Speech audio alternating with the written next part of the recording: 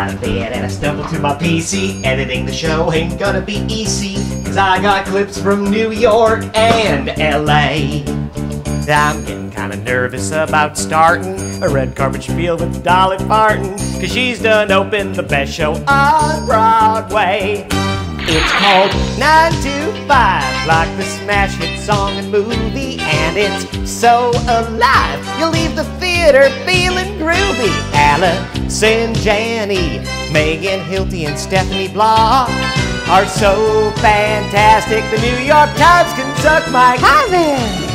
9 to 5 has a book by Patricia Resnick, and it's got lots of heart, but it's also got a lot of slapstick. And it's no surprise what the audiences have to say. While one even said Dolly Parton brought melody back to Broadway. And Dolly Parton has brought melody back to Broadway. Isn't that great? I am so embarrassed. but it's true. Nine to five. Yeah! Hello! Hello, ladies and gentlemen. Welcome, welcome to the show. Yes, that's right. 9 to 5 is the best time on Broadway. Audiences and critics agree. Well, except for that one guy at the New York Times. He's a pig f***er. Oh my. I'm just kidding. I'm just kidding. All right, all right, all right, all right, all right. So I don't get sued, let me just go on the record and say I have absolutely no proof that a pig would ever put itself in that position.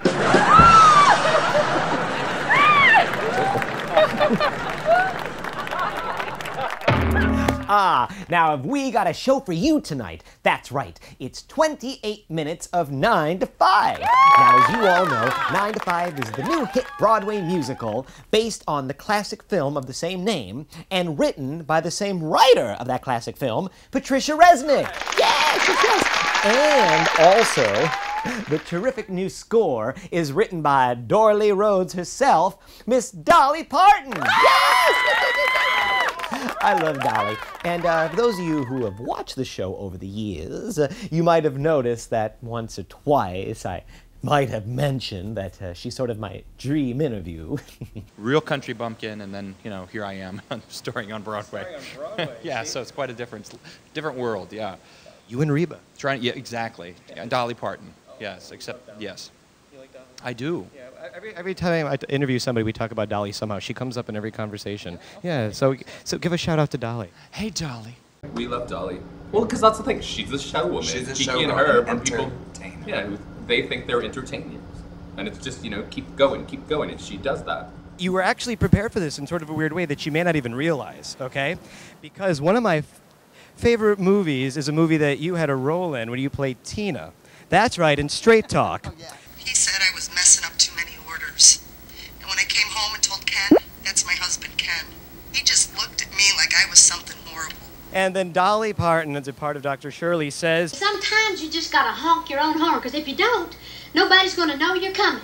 and look, she is honking her own horn on Broadway eight times a week. Grind your behind till you're banned. He's quoting Dolly Parton. Dolly Parton. It all comes back to Dolly, doesn't it? Wrap up. what a great transition. Aren't you glad we're here to talk about Gypsy? Why, it's on Channel 34, I guess. Said you better get to living, giving, be willing and forgiving, cause all healing has to start with you. As I was saying, Dolly Parton wrote this amazing new score for 9 to 5, and she was even Tony nominated for it. Oh. Yes! And who knows, maybe she'll win. I'm sure Dolly could always use a new doorstopper. Oh. Yes. Oh, Ken. oh! It's my ego! Ergo. Come on, sit down. Oh, sit down. Right. Hi. Hi. Oh, uh, well, I just wanted to chime in that I really did like that bit about 9 to 5 being the best time on Broadway. but don't you think it would be a little more accurate to say the best hours on Broadway? Or would that be too laborious? oh, you, know, you keep coming up with them like that, and pretty soon you'll be writing for the Times. Oh. Oh, oh, me. Well, come on, let's not sit here. Let's go back in time to the 9 to 5 opening in LA. To the Magic Tower. Woo! Woo! Woo! Oh. Hey, no, no, no. This way, remember? Oh, I thought that. Oh, yeah. Oh, right, I forgot we moved things around. Oh, come on, Ken. You know, you try getting up at the butt crack of noon every day. First thing you gotta do is make lunch. sit out in the audience with Jane and Lily and Dabney Coleman, the originals from the show, and it's going to be fun for you to see us seeing them being us, right? But I think we have a wonderful, wonderful cast, and hopefully everybody's going to like the music. And of course, we know we got a great director in Joe Tello, and uh, uh, of course, Pat Resnick and I have been working together since 9 to 5. She wrote the original script. And we had a wonderful time together doing this. So it's going to be a big fun night. I don't know what all say. We're not supposed to cover business or anything. Because I don't know any, except that I've done my job. I just hope everybody's going to like it. And thank you for your support and everything. I guess we'll know after tonight if, if, how, how well I did. So anyhow, thank you for coming and God bless you. And I'm going to go find Lily and Jane and Dabney and take some pictures. Okay? And thank you. All right.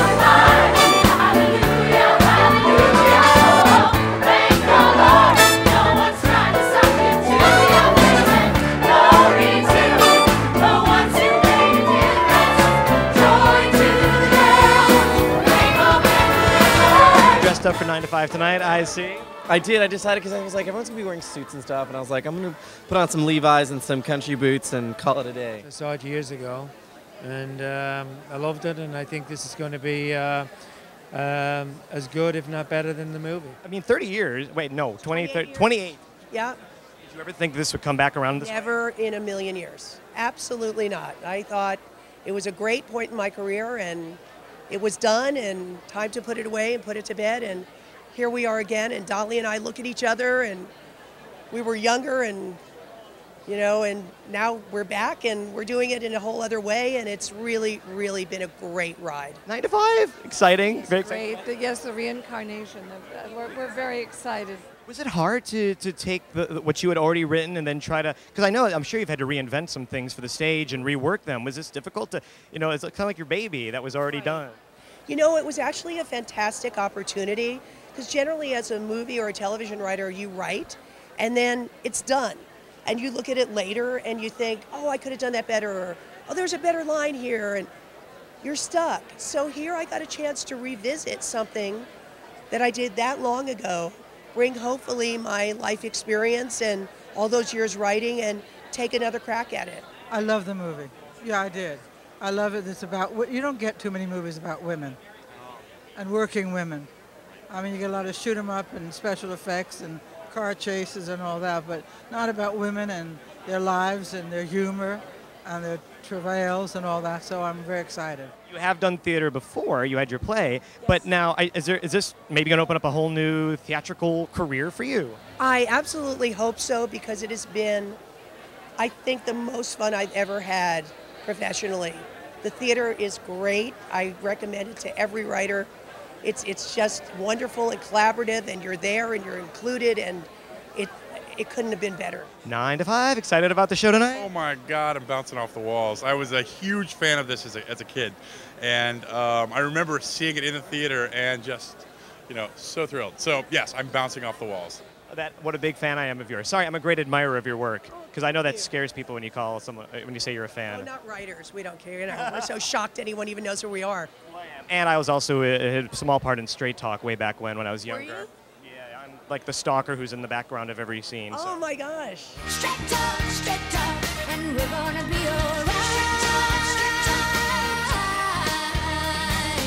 someone who knows the Broadway stage. I've seen you on Broadway stage in musicals. So excited about a new musical comedy. Very much so. I, I've heard the music's great. I've heard the whole thing is great. So I'm, I'm excited. Yeah. I love Dolly Parton. I grew up in Mississippi, so uh, we listened to country music, and Dolly was definitely um, a part of our lives. so, uh, you know, and she's just had such an amazing career, you know, just through the decades. It's been amazing. 9 to 5 was such an amazing movie, and Dolly Parton is such an amazing actress, triple threat, really, basically. She can do it all. And so I'm very excited to see what she's done with it. Hi, I'm excited. Nine, two, five.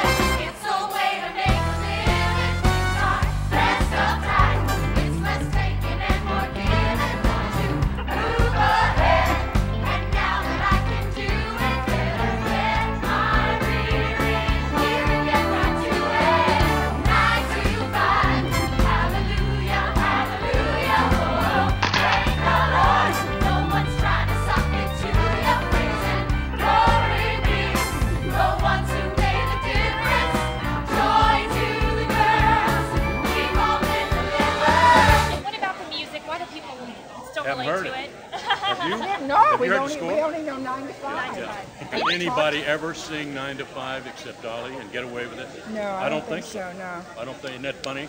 That's because It's a great song. It is a great song. Okay, well, it's, and we're, We we don't know, we're kind of, in- we're just stunned by their continuing popularity.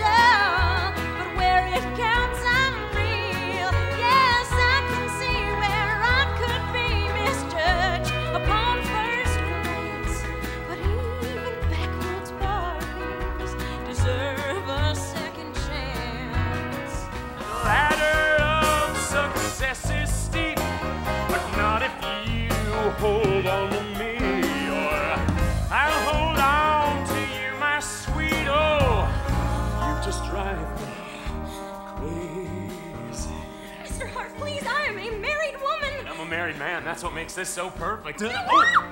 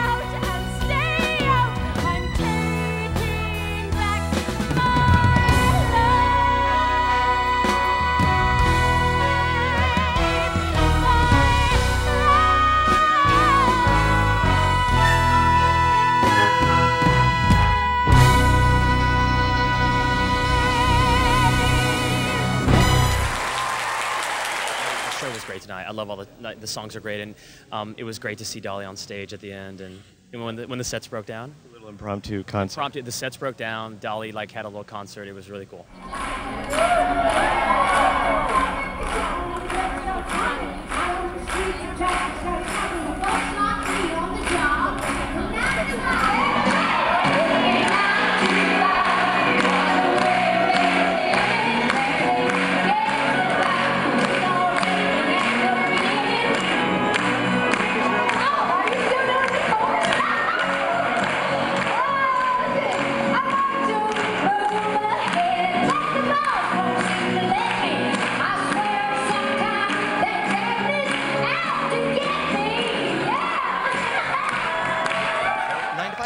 To five. Your thoughts of seeing you by somebody I think else. It's going to be a huge hit. Uh, everybody on the stage had fun, and which means everybody usually means everybody in, in the audience has fun. And this was that case, I think.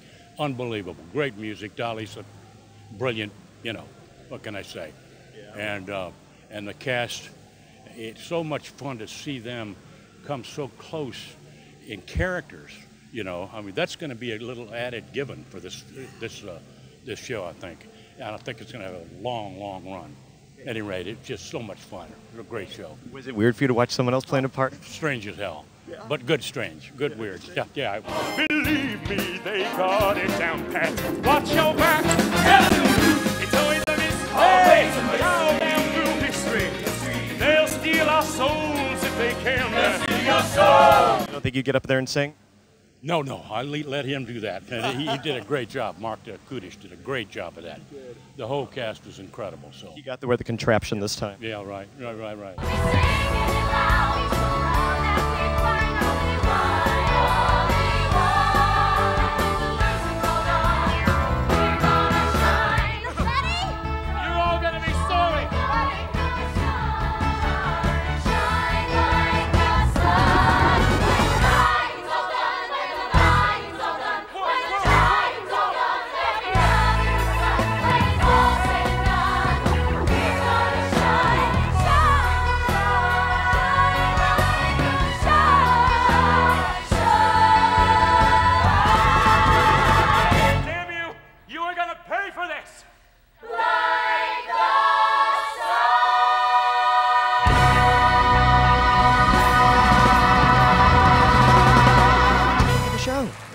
Absolutely incredible. I knew Dolly wouldn't agree to write the songs if she knew it wasn't going to be an incredible show. And I knew if she wrote them, the songs would be amazing. And they were. I think the one about gossiping was my absolute favorite. And I thought they all did a really good job, especially the Doralee character. I mean, you know she watched that movie like a thousand times. She absolutely nailed it. And the whole thing was just high energy and I thought it was just fantastic. And the set changes were really elaborate. Did you get a little, uh, you know, happy when uh, the set did kind of break down? Because I secretly did, because then Dolly got to perform. That was pretty cool. And in fact, right then I was like, why don't I have a camera in my hands? Because those are the moments that, you know, you just, you don't know you're going to get. You can't plan for it. And I, I, think that is one of those moments that really shows how talented Dolly Parton is. She can take something that is a little mini tragedy, you know, and just make it so entertaining and, and just have the guts to get up there and go, okay, I don't know what I'm going to say, but I'm going to fill 10 minutes. You know that filling 10 minutes when you don't know what the heck's going on is a long time. Yes.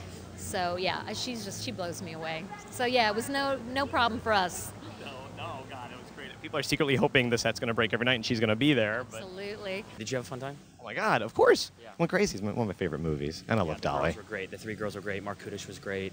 Andy Karl. It was a great cast. They did. It was. Um, I'm really thankful that I'm seeing like New York theater in LA. Five. Now you did a, a reading of this very early on, didn't you? Yeah, I did. So it's lovely to see it, you know, staged and everything. I just did a sort of sing through of it. It was great fun because Bob Greenblatt, who is producing it, is my boss at Showtime, and so yeah. A series, which I love. Oh yeah, which I'm about to do more of. So yeah, Now, did- you saw the show tonight, correct? I loved it. I mean, I love. It's just people love Dolly. It's a great story. I mean, watching the film again to do the rehearsals of that show, it's just it's it really stands up. You know, Marc, Marc Kudisch was unbelievable. I mean, a man that's aloft, strapped around the crotch for so many numbers. I've never known anyone sing like that, strapped around the crotch perpetually. I mean, you've got to admire him. I think It helps the diaphragm. He's already got children, so you know it's okay. But I loved it, and I'm sure it'll go on to New York. And good, good luck with it. Eight shows a week, though, kids. Uh, does that help or hurt your diaphragm, the contraption you have to wear? No, you know, you'd be surprised. It's actually more comfortable than you think. And I've used, I've, I've been in fly systems before, so I actually enjoy it. Cause no, dude, because you don't have to act. There's nowhere to go. There's not much you can do. So you're experiencing it live, you know. And it's fun. I mean, it is. It's just it's surprising for an audience, and uh, hopefully, it's just sort of a, a, a different way to communicate something. You know. From the gut, I guess. Oh yeah, baby. From the groin. From the bowels. So look at you playing Roz. It's so fun. It is so so much fun. I love the, working with these people. Joe is fantastic, and Allison's fantastic, and I love Marc Kudisch, and we have just been having the best time. The be- it's the best story. It's the best story, and. Um, uh, most days though, when I come out, I don't get recognized because of this wig situation. I, didn't see you, I didn't see you walk by. It's because I've got old age makeup on and that fantastic wig. Um, but uh, we're just having such a great time. Great, great fun. Great fun. How nice that you actually get to take the Roz character further than in the movie. I know, it's so fun. Isn't it great? I love her secret life. Like Elizabeth Wilson was so wonderful in the film, but the, the to be able to be into the bathroom and actually do it like her secret life is so fantastic because you think, what does this woman really do at home alone? It's a little spooky.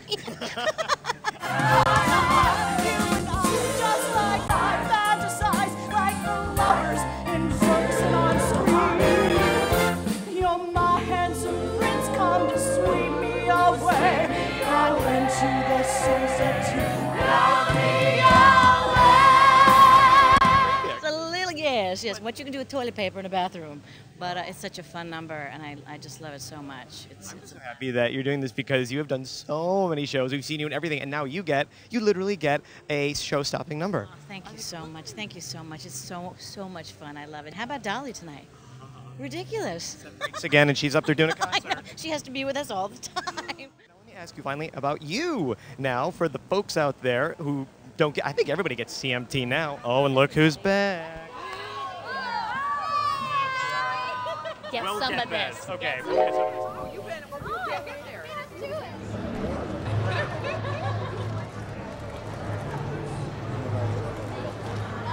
and this way, please. Thank you.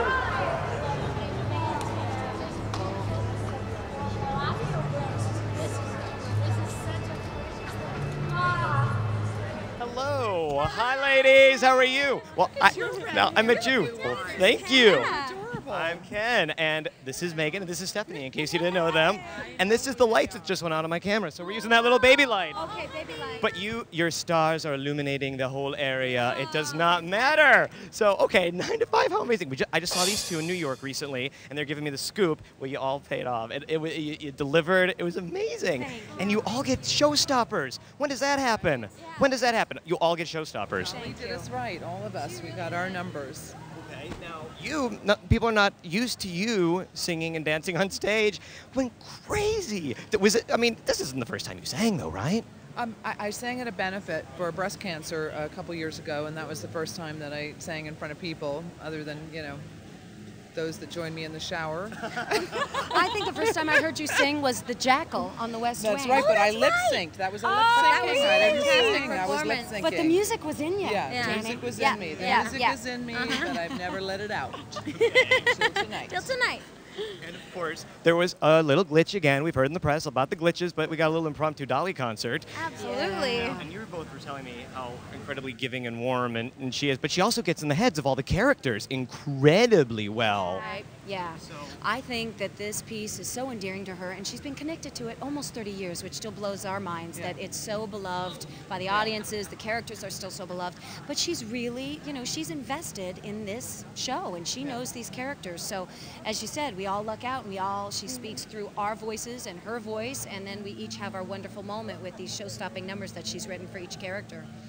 It might be silly of me to ask because, well, well, I'm not going to say because. Do you all have a favorite? Like, do you have like that absolute favorite moment when you're getting ready to do the show? You're like, oh, I can't wait because I'm going to get to do this. Do y'all have that moment? I can't wait to tell off Mr. Hart. I can't oh, wait to have that moment where I push him on the couch and Cathartic in some way? absolutely marijuana scene.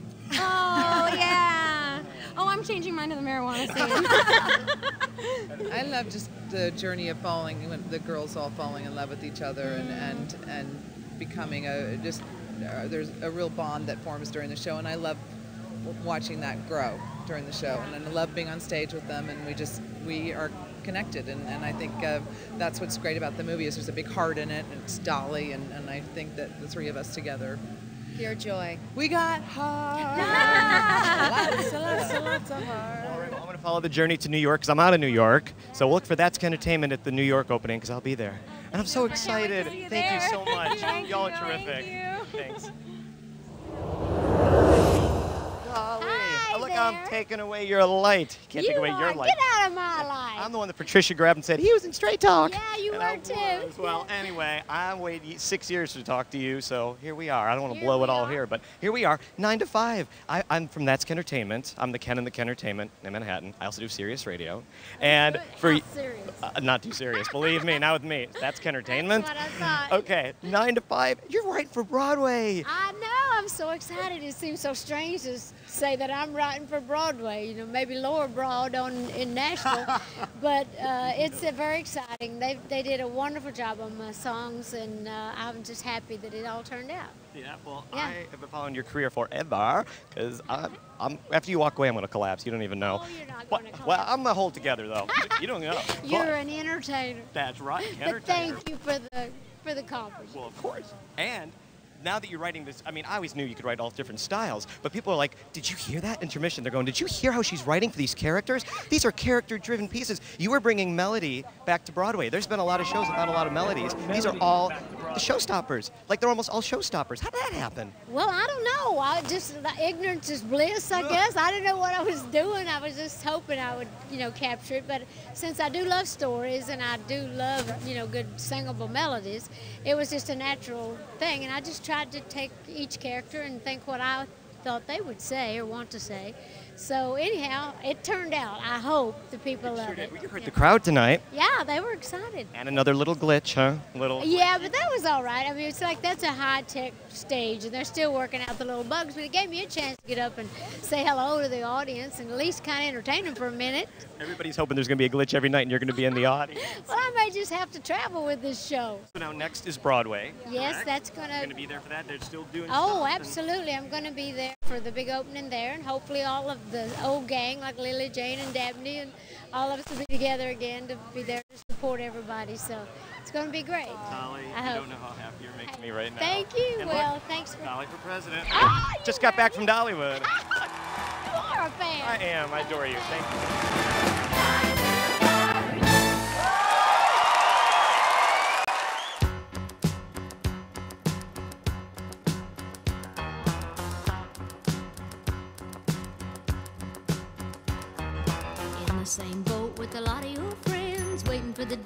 Ship will come in and the tide's gonna turn and it's all gonna roll your way. Find you on Well, on CMT Insider, it airs every weekend, Saturday afternoons and Sunday mornings, and I'm out there getting the country music scoop. I'm on the red carpets, uh, talking to people when their albums come out, their videos. I'm, I'm all over it, darlings. Right. Thank you so much. Thank you. It's great to meet you. Positive light, you know. So many. So are you. Well, so many people, you know, and they're kind of like, ah, I'm doing my job. You look like you really enjoy it. Oh my gosh, I love my job. Are you kidding? I'm every week when the paycheck actually shows up, I'm just like, I'm getting paid to talk to people like Dolly Parton and you. It's a beautiful job. Well, thank you very much. Thank you. Good luck with everything. Thank you. Okay. They got